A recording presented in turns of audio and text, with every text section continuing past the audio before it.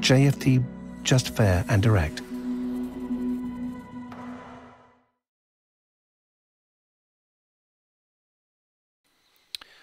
Okay, hello and good morning, everyone. Uh, welcome to JFD Traders Espresso recorded session with me, Darius Anucauskas. Today's the 2nd of February, guys, 2022. So, yeah, welcome, everyone. Welcome to this um, Wednesday's morning session, uh, recorded session, as I mentioned before. Uh, so, yeah, before we jump in, before we go further, as always, let's quickly have a, a read through our risk disclaimers. So, yep, the content we produce does not constitute investment advice or investment recommendation, should not be considered as such, and does not in any way constitute an invitation to acquire any financial instrument or product. As always, I'll give you a few seconds to read the rest and we can continue.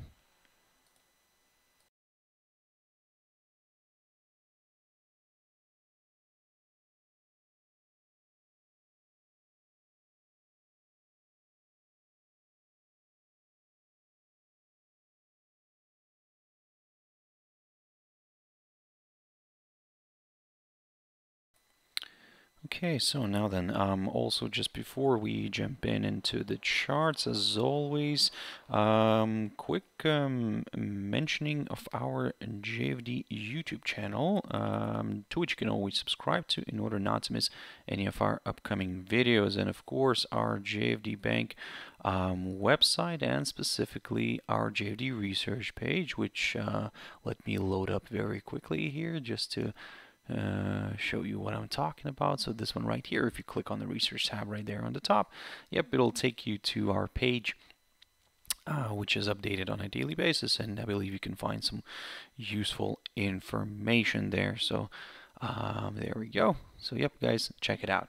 Um, now, jumping into the charts, guys, the first one I'm going to pick up here is Nikkei 225. Uh, now, a good run to the upside. Everything's according to the plan, to the idea that I mentioned uh, yesterday that we, and uh, the, the, the, idea that I mentioned on Friday as well, that uh, we might see a bit of a larger correction here to the upside, and we're actually getting that. So everything's look, working out nice and fine here. Um, the only thing is, of course, we are approaching this area, this 20 uh, this area near the 27,594 level right here, uh, near the 21-day EMA and near this downside line. So um, in a way, we're basically approaching quite a strong area of resistance, and uh, we want to see if this is going to work out or not, if this is going to push through this downside line taken from the high of the 5th of January. Uh, if it if it will, then well, uh, we could go maybe for some higher levels. But if it won't, then well, I mean, if this downside line remains intact, then another slide could be possible. Of course, the positivity came in from the kind of the um, Yesterday, um, U.S. markets did trade uh, nicely in positive territory. Um, European indices as well were uh, were gaining. So uh, we are having this um, nice kind of positivity right now kicking in. However, uh, in general, guys, I mean, you should be very careful because let's say, for example, last week we were, when we were selling off um, in in the markets, um, everybody was talking about you know the rate hikes and the Fed Fed hiking rates in the near future future here. Um, so in a way, if you know, if and everybody was very bearish, and uh, of course for obvious reasons.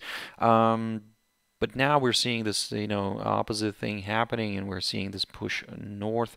Um, the only thing is, like I said, if if the the concerns are still there, I mean, the about the in, uh, raising interest rates, so maybe this move is could be classed as just a, as a temporary correction. This move uh, this this move higher could be classed as a temporary correction. So that's why do not exclude the downside scenario. Yes, if we're going to start breaking some key resistance levels, then yeah, of course. I mean, we'll start looking at uh, some higher levels. But at the moment, when we are, for example, like here on Nikkei when we're approaching this key resistance be very careful and cautious guys I guess like I said it could easily kind of you know reverse back down um, same story with DAX, the German index. As you can see here, it did push higher yesterday. It did push north, but um, yeah, it did um, get a hold up near this downside line. So this arrow worked out nicely. So we got our uh, we got our whole uh, kind of little retracement initially, as you can see here. Uh, everything kind of happened in that one day, and then the next day we uh, saw push towards this uh, downside line, which we managed to test.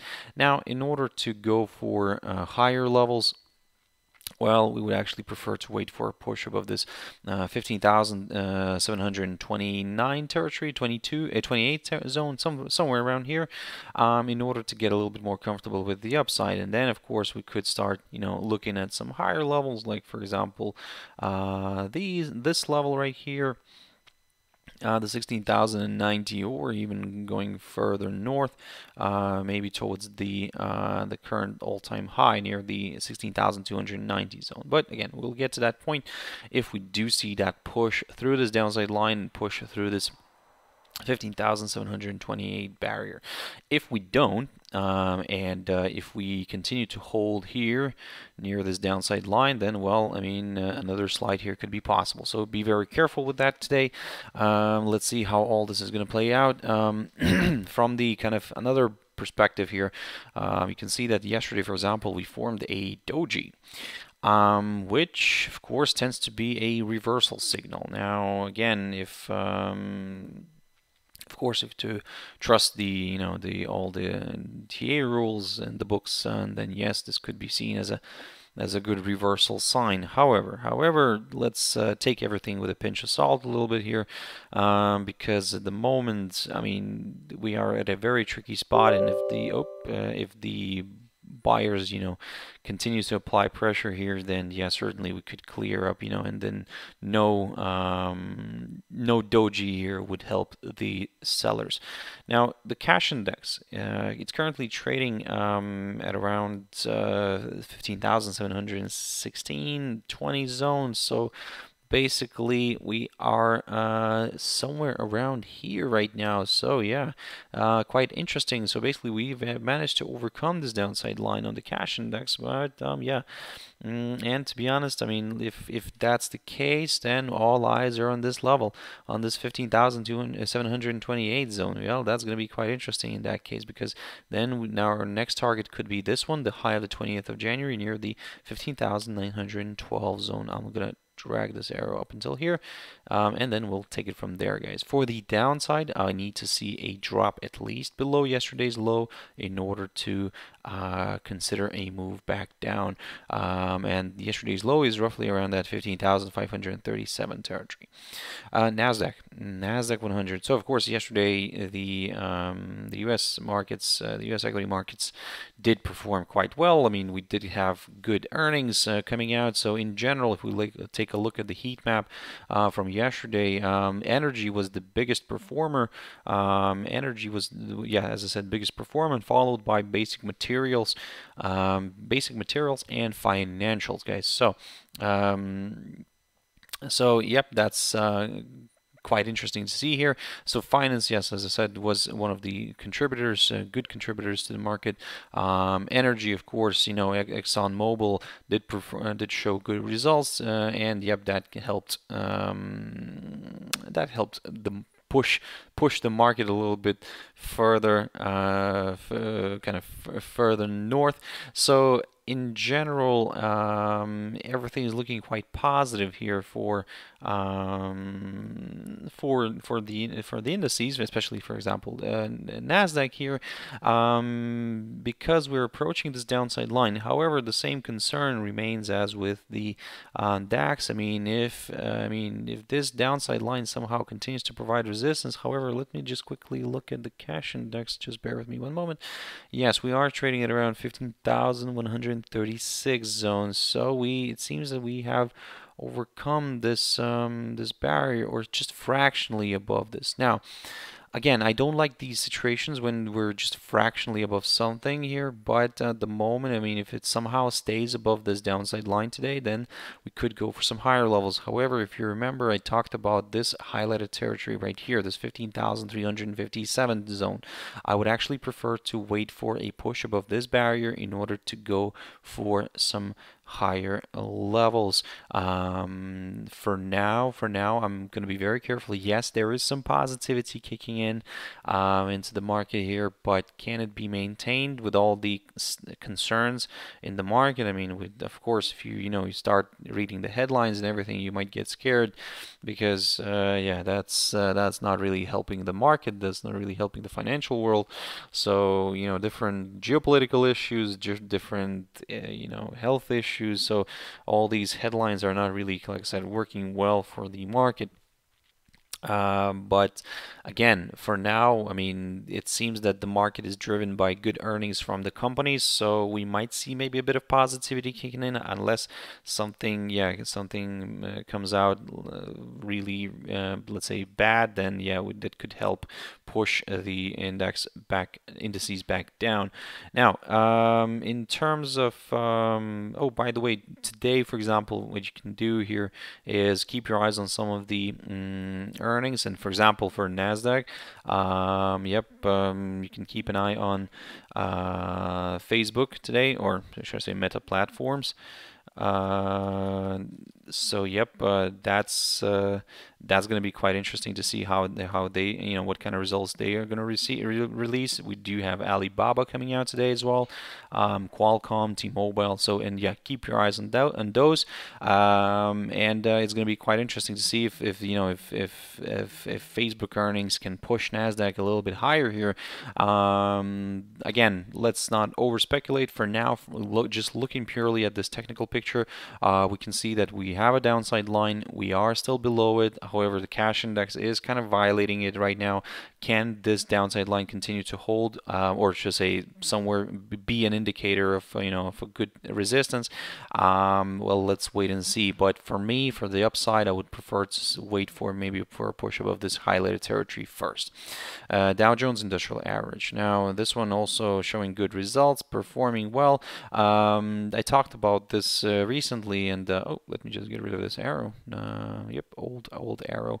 Um, but basically, as you can see here, we managed to recover nicely here. Um, the cash index currently is showing um, a that the index is trading at around 35,425, something like that area. Um, so we're yeah above yesterday's close, but uh, very near the uh, 0 is zero point six as well 61.8 percent uh, retracement here on the Fibonacci, very close. So we've managed to reach that, and the question is, can we see a further push north? Um, now I'm not. I'm going to get rid of the Fibonacci. I mean, you probably you, you understand that it's roughly around here, the 35,500 zone. Um, I don't need it anymore uh, because we did have our good retracement already.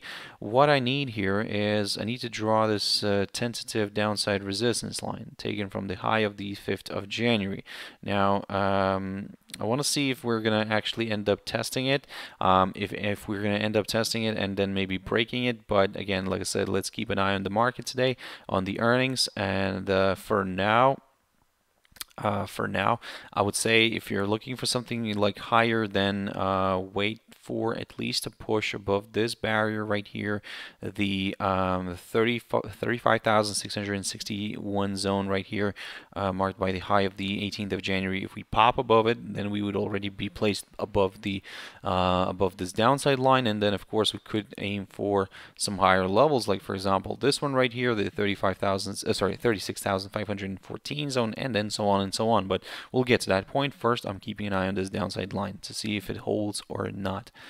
Uh, DXY dollar index. So uh, yeah, drifted lower. Um, I, I talked about this, guys, if you remember, uh, and I said that if, um, yeah, if uh, if we hold here, uh, if we hold, in, maybe, you know, if, if, we hold around this area, this 90, 96.46, then maybe, you know, maybe a bit of a rebound could be possible. However, if we break that, then, of course, the next target is the 21-day EMA. So, in general, what I was saying even before that, that if we fall back below the 96.67 territory, right here, then this opens the door towards that 21-day EMA. So so far, kind of everything's working out nicely. Um, the only thing is now the question: Can what can this 21-day EMA provide? Uh, provide support. If it can, great. We could see a nice rebound here and a push back to the upside. If we cannot, um, well, I mean, a further decline could be possible towards this upside line taken from the low of the 25th of May of uh, 2021. So yeah, for the upside, pretty straightforward. A push back above this 96.94 level is needed. Uh, gold. Uh, okay, this one is kind of continues to be a bit of an annoying, uh, um, a bit of an annoying kind of uh, commodity trade because currently you can see that um, yesterday, I mean yesterday I talked about the, I removed the, the downside line. I mean I removed some of the lines and oh sorry the upside line removed that one.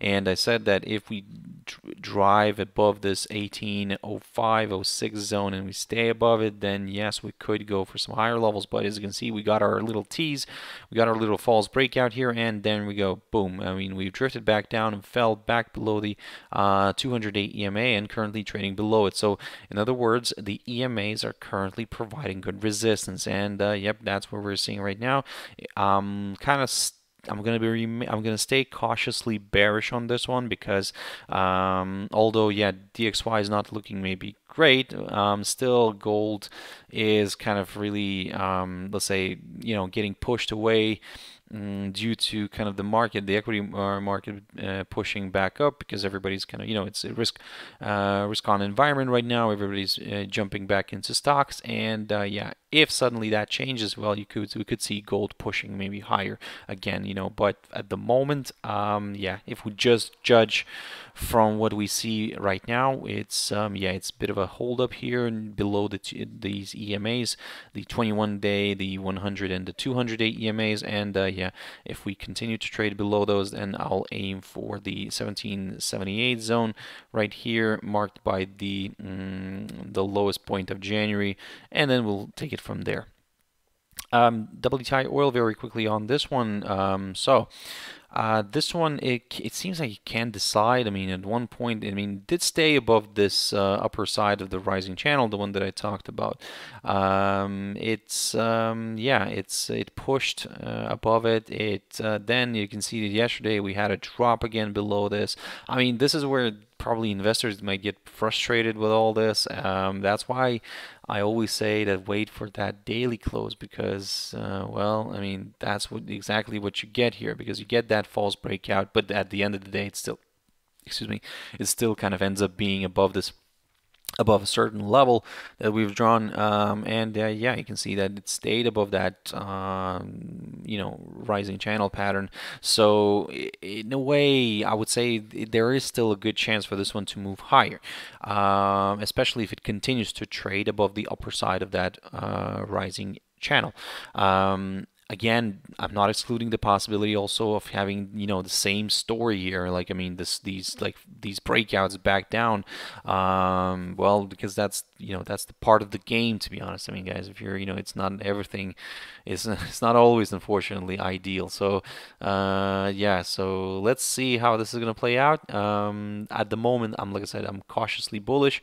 As long as and I'm gonna probably stay bullish actually if if it's gonna stay above this upper side of the uh, rising channel. If it suddenly starts falling back below it and stays below it here for the day, I mean, then um, yeah, i am back to kind of neutral territory.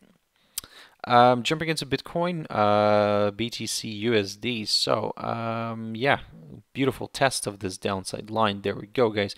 10th of November. This line is taken from the high off uh, 10th of November of last year, and uh, we've managed to get a nice, beautiful test of it. I talked about this hurdle as well, the 39,673 level, and uh, yep, uh, we've managed to kind of almost reach that, and uh, we reached the 21-day EMA. So in other words, uh, we had a fantastic hold up here. Very technical, very nice, beautiful. Um, the big question here is what's going to happen now. Um, let me adjust a few things here.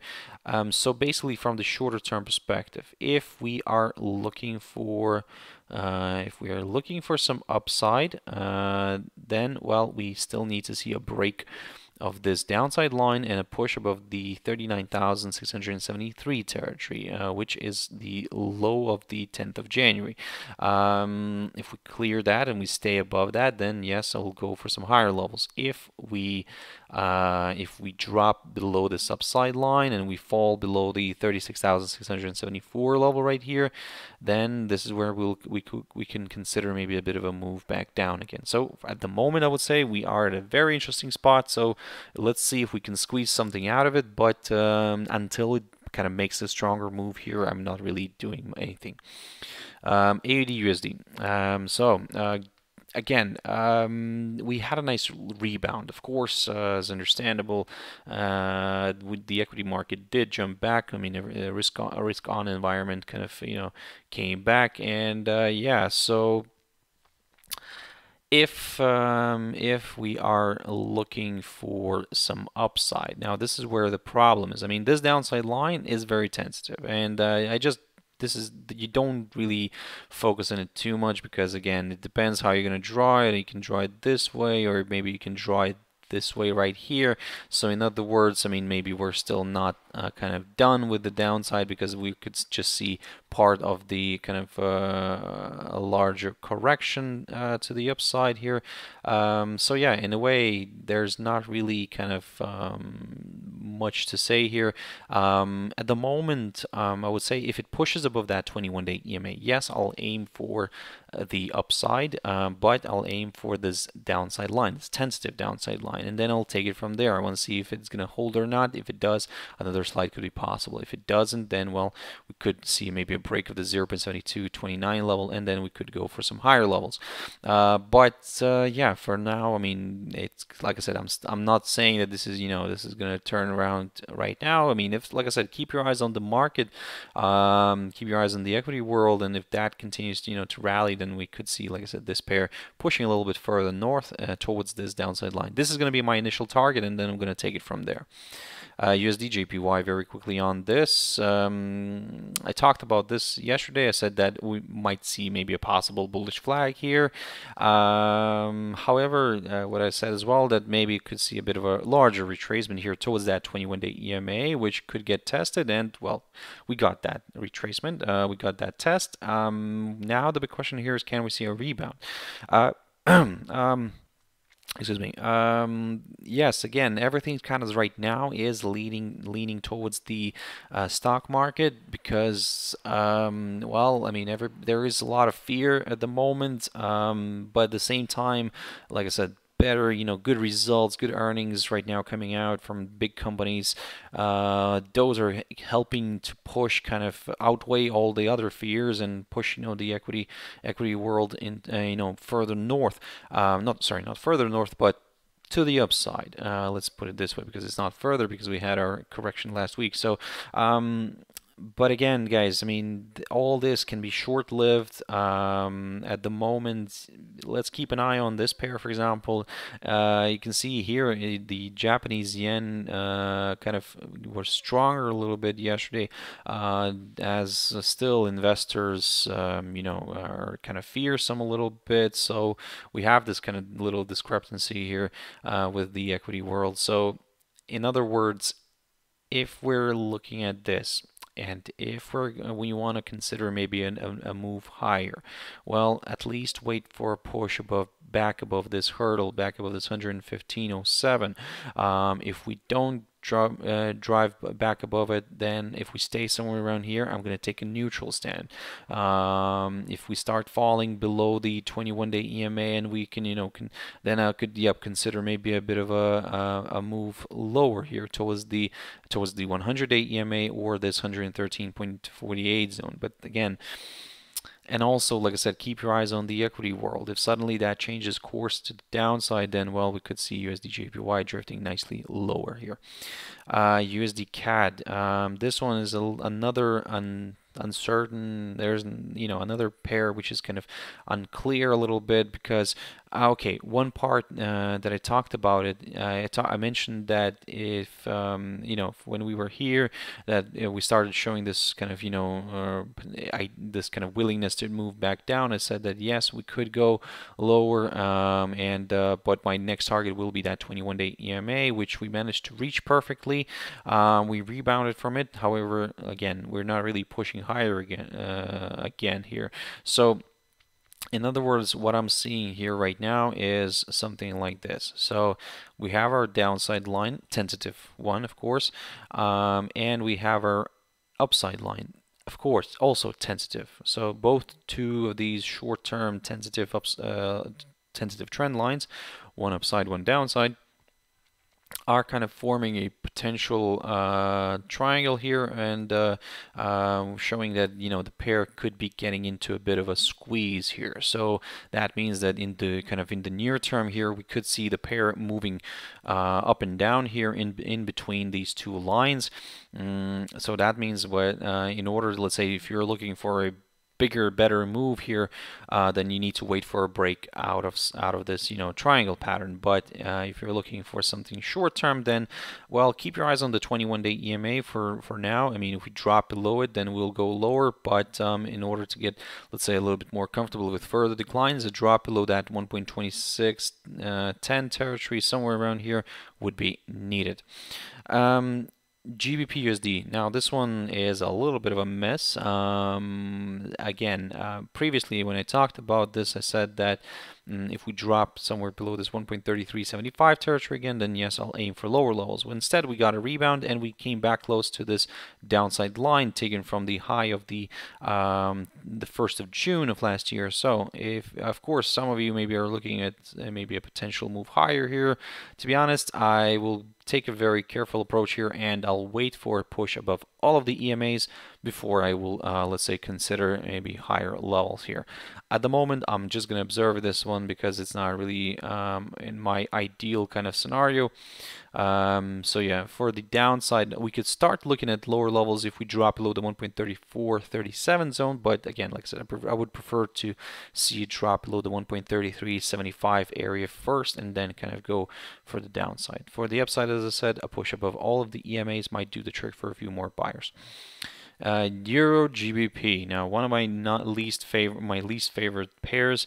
I don't really look at this one because again, it to be honest, it, it really annoys me sometimes. I mean, it's on one hand, it's sometimes very, it seems to be very technical, but actually it's not. So it's kind of a, sometimes it's just a random walk here. Um, so yeah, I mean, if we try to apply technical analysis on this right now, we can see that yes, the pair is trading below this downside line taken from the high of the 9th of December um, and uh, we are struggling but we are struggling below the, with this 0.8305 zone which is currently yes providing good um, good support and uh, yeah, um, if we if we clear this, if we clear that area, then this will confirm a forthcoming lower low, and further declines are possible. And uh, just to kind of in contrast where we are right now, we can see that we are approaching the levels. Uh, let me just uh, put this on the chart very quickly. So we are approaching the levels of here. I mean the lowest point of February of 2020 and uh, we are also I think this is another uh, area uh, the lowest point of December of 2019 guys. So this whole area is roughly um, around let me just zoom in here a little bit, uh, roughly around that um, 0.8280 territory, so area, so approximately around there, guys. So that could be our next target, 0.8280, if we clear the 0.8305. I do understand we're not really kind of gaining a lot here, but again, we are we would be then approaching quite a strong area of support. So be very careful with that. So we have seen this decline uh, quite significantly, and so we have seen the euro declining against the pound quite significantly. Can this change course? Um, well, we need some confirmation then first. Uh, of course, initially we'll start from the break of this downside line when, and if we do get that break, then we could also break the 21-day EMA. So everything's kind of like I said, uh, kind of jamming in into one here, and uh, yeah, uh, this could open the door. If we do break above this area somewhere, this could uh, open the door to some higher levels, and that area is approximately near the 0.8360. So keep that in mind. And finally, Euro USD, guys. Um, so um, we managed to rebound, and as I said, keep your eyes today on the economic, or not today, in general this week. Keep your eyes on the economic calendar because today we have the U.S. ADP numbers coming out. So some of you, some people like to gauge, you know, uh, their expect, kind of, you know, build their expectations um, on the NFP number, which will come out on Friday based on the ADP number. But again, this has been proven several times that you know it doesn't really always uh, go hand in hand with each other. So you can keep an eye on it. Um, there there might be some maybe uh, fluctuation in the Euro USD on after after the after the news. However, the main, of course, the main um, news, uh, the main event to keep an eye on is tomorrow. Uh, so yeah, the ECB interest rate decision, which probably is not going to change, but um, but the press conference that's going to be quite, uh, which will uh, be 45 minutes after the uh, interest rate decision. So yeah. Um, keep your eyes on this one. Don't be surprised if we don't see much movement here today on Euro USD. Maybe the the whole movement could be saved uh, for tomorrow and for Friday's NFP numbers. Um, from the technical side, again, I'll go back to the same idea. A break of this downside line would be needed in order to go for some higher levels. For the downside, I would need to see a drop somewhere below this 1.1173 zone, and then yes, we could consider a bit of a move to the downside here. So keep that in mind. So guys, that's it for this session. I really appreciate you kind of you know watching this recorded session. I really appreciate that. Thank you very much, guys. I really do. So um, if you want to catch me or catch my video tomorrow, as always, roughly around uh, 7 o'clock GMT time, maybe a little bit after, uh, uh, allow me to up upload the video properly. So, and uh, yeah, guys, we'll take it from there. We'll see, you know, what the market has uh, prepared for us for today. Um, be very careful, stay safe, um, you know, keep your stop losses in place. Don't overtrade, guys. Um, so yeah, most importantly, don't overtrade. Um, thank you very much, and bye-bye.